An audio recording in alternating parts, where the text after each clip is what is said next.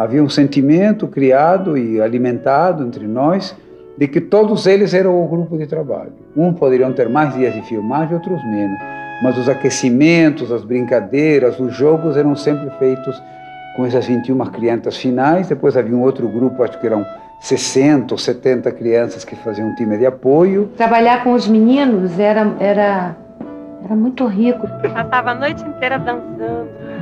O exercício de interpretar é muito legal, né?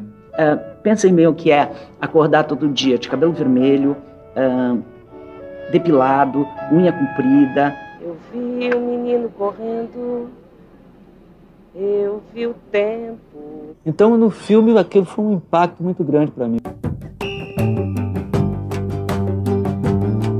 I remember both of us being film had a deep, great impact on us. I, I, thought it was the best film, one of the best films I'd ever seen. Which I just found incredibly affecting, and there was shots, performance, which was another thing altogether. It was so um, moving and haunting and um, restrained.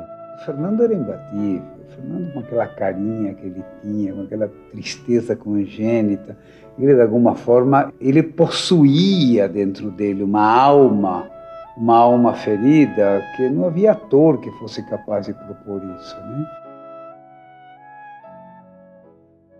Segundo a versão da polícia, ele e um amigo foram vistos assaltando uma pessoa que passava por aqui. Não sei, não sei se eu não, não soube aproveitar. Tudo que acontecia era o pichote. No mundo do crime, assim, você não sai assim tão com muita facilidade, né? Ela falou, mãe, mataram meu irmão. Quando ele falou assim, eu desmaiei. Eu acordei.